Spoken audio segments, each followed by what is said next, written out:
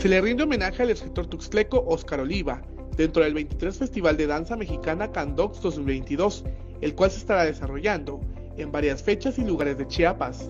Año con año homenajeamos a diferentes personalidades que nos han distinguido como en el arte y la cultura y la ciencia en Chiapas, chiapanecos totalmente.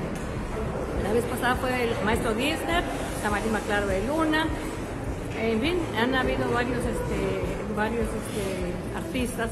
En esta ocasión el maestro Oscar Oliva, por este, la grandeza que él tiene como escritor y como representante chiapaneco a nivel nacional.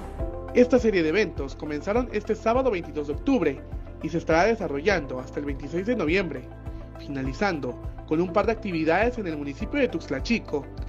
Las otras sedes son Tuxtla Gutiérrez y San Cristóbal de las Casas. Estaremos el, día 5 en, em, en el Teatro Hundido de la Calzada de las Personas Ilustres con la temática del Día de Muertos. El día 6 estaremos en San Cristóbal de las Casas en el Teatro Cebadúa.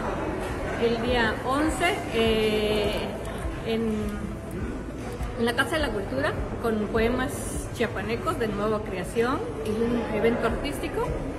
El, 12 este, estaremos en el Teatro Bonampak con Mi Chiapas Querido.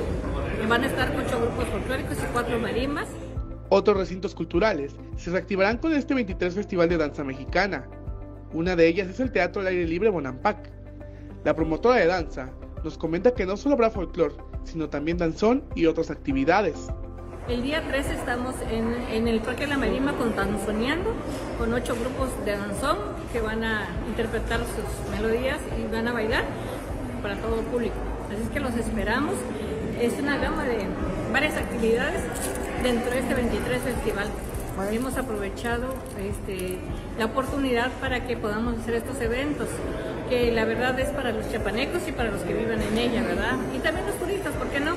Pero debemos estar constantemente en todos los eventos artísticos. Con la participación de decenas de bailarines, directores de agrupaciones dancísticas, creadores y demás artistas se está logrando realizar este festival, del cual hacen extensa la invitación para asistir a sus eventos. Que nos acompañen, está en la página este, eh, Instituto de Arte y Cultura Candox, en el Facebook y también en Candox. Lupita Bautista también si gustan ahí mi face y ahí estamos a las órdenes. Para Alerta Chiapas, Eric Chandomí.